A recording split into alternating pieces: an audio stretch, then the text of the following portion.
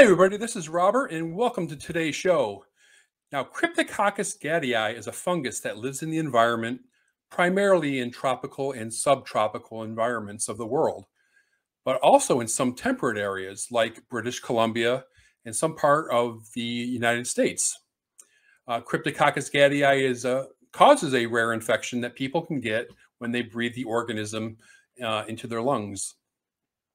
Now, scientists have found that this disease also killed porpoises and dolphins in the Salish Sea. Now, there's a new study that was published in the journal Diseases of Aquatic Organisms, where researchers explore how human caused changes on land can affect aquatic animals, specifically in the case of the fungal pathogen Cryptococcus gattii. So, joining me today to discuss this topic is research assistant at the SeaDoc Society at the UC Davis School of Veterinary Medicine and the lead author of the study, Sarah Teman. Hi, Sarah. Welcome to the program. Hi, Robert. Thanks for having me. You bet. Uh, very interesting study, by the way. Um, but before we get into that, um, I'd like to like you to let the audience know a little bit more about this organism, uh, Cryptococcus gattii. Where is it found geographically? Um, what types of environment? And uh, like, what's the pathology in people and in, say, terrestrial animals? Yeah, you did a great job of giving a great background about the organism. Um, like you said, it's a fungal pathogen that mainly lives in soil and in tree dwellings. And disease is caused by inhaling the fungus through environmental exposure. And there's been a lot of previous research done on the pathology of the disease. And it's been found that for many species, for example, humans and terrestrial animals and wildlife, C. gattii primarily affects the nervous and the respiratory systems. Uh, so it's you it's acquired by breathing it in, and then it can disseminate throughout the body um, into the cerebrospinal fluid and other uh, other areas throughout the body, and can cause multisystemic fungemia. And it was historically found in tropical and subtropical forests. Um, but in the case of our study, it was found in British Columbia and in the United States' Pacific Northwest which is what triggered SeaDoc Society and our collaborators throughout these regions to study this disease in odontocetes, which is just a term meaning toothed whales like porpoises and dolphins. Mm-hmm. Yeah. Now, I, I, am familiar with the with this organism. However, I was not familiar that it caused disease in these aquatic animals. When was this first seen? Yeah. So, Doctor. Uh, so for a little bit of a background, um, mm-hmm. cryptococcosis is a term for the disease caused by the species in the genus Cryptococcus. Um, so that's been recorded in cetaceans, which is a term generally for whales, dolphins, and porpoises. Uh, it's been recorded in Western Australia, Hawaii, and California, just to name a few instances. But within the extent of the outbreak in British Columbia and in Washington, uh, Dr. Garner at Northwest Zoopath identified the first case of cryptococcosis in a Dall's porpoise that stranded and died near Tacoma, Washington in 1997, which was two years before the onset of the terrestrial outbreak on Vancouver Island that subsequently spread to British Columbia and the Pacific Northwest throughout the early 2000s. And is, uh, I'm sorry, go ahead. Um, just for a little bit more background about um, how this organism was found, uh, or I'm sorry, how this porpoise was found.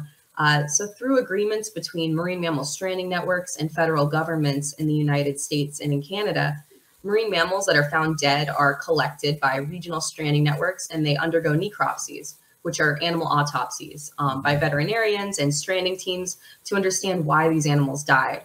And so tissue samples are collected routinely from all these animals and they're sent to veterinary pathologists and microbiologists so they can survey for different diseases, which is what allowed them to identify C. gattii in this porpoise. Okay, great. Um, now, is the pathology or the disease in porpoises um, and related species similar to what you see in humans and other non-terrestrial an- or excuse, terrestrial animals? That's a great question. Um, our study didn't focus too much or specifically on the pathology of the disease uh, in odontocetes, but that's a great launching pad for future research. Yeah. And it's likely that odontocetes acquired the disease through the same mechanisms as people and terrestrial animals would by inhaling the fungal spores or yeasts. Okay.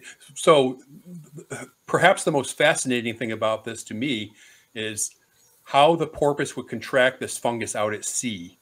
all right, they got so they got to be pretty close to land, I imagine. So how does that all work? Yeah, so there were studies that were done by Kidd et al. and Duncan et al. Um, and if you look in our paper, you'll find those cited in there uh, that found that it's likely that human caused activities on land that can disrupt soil, like construction or logging, could actually aerosolize the fungal spores and cause them to be inhaled by people and animals, which is how infection starts.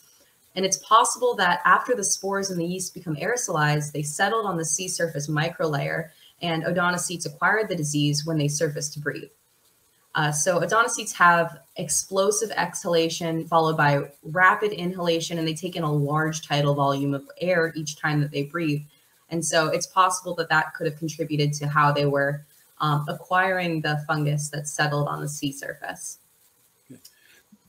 Now, um, so clearly this is because of uh, our um, messing with the environment up there. Otherwise, that yeast won't get out to the sea, right? I, I mean, that is that pretty clear?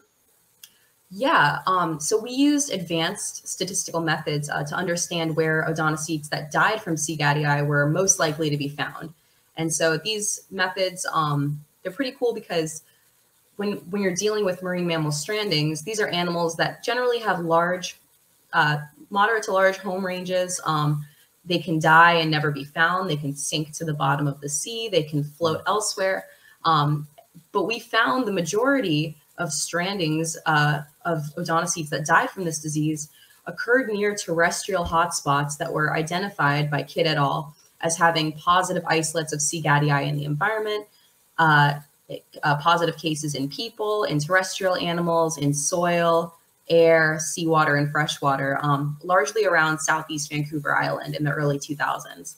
So even though this disease originated on land, it was still able to spill over into the marine environment, which is pretty frightening. Yeah, yeah, yeah. So I, I guess the big question is your research. Why is this? Why is this important? Yeah. So if we didn't do disease surveillance of marine mammals, we would have never known that marine mammals can be sentinels for human health.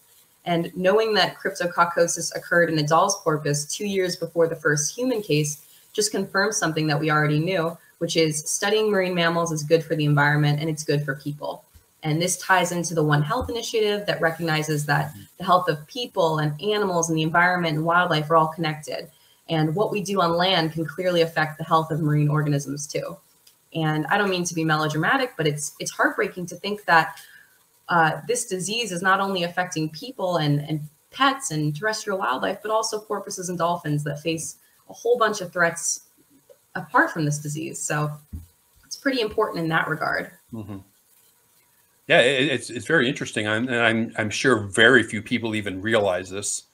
Uh, you know, first they don't probably know the fungus well, and then then this particular factoid. I've been around microbiology a long time. This is the first I heard of it when I read your paper. Um, and uh, any final thoughts on your research, Sarah? Yeah, um, I just want to say that this study was particularly remarkable because of its collaboration between 15 different co-authors and 12 different institutions.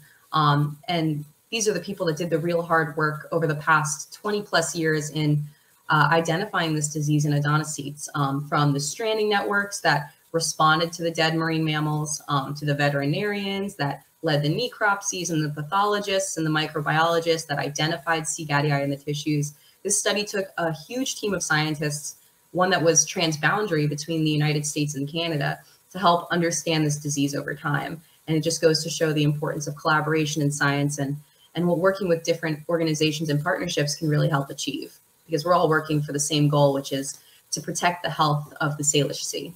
Yeah, yeah, good stuff. Um, and I, I would be uh, negligent if I let you go without you get getting a chance to talk about the SeaDoc Society. Go ahead.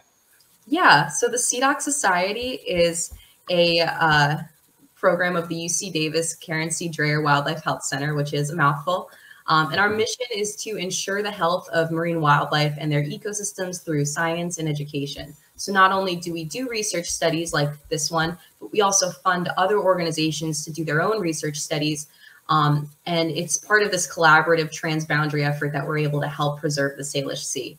And if you're interested in learning more about SeaDoc, our science and education, including our um, amazing uh, elementary school curriculum called Junior Sea Doctors, um, and the other projects that we funded, you can visit www.seadocsociety.org.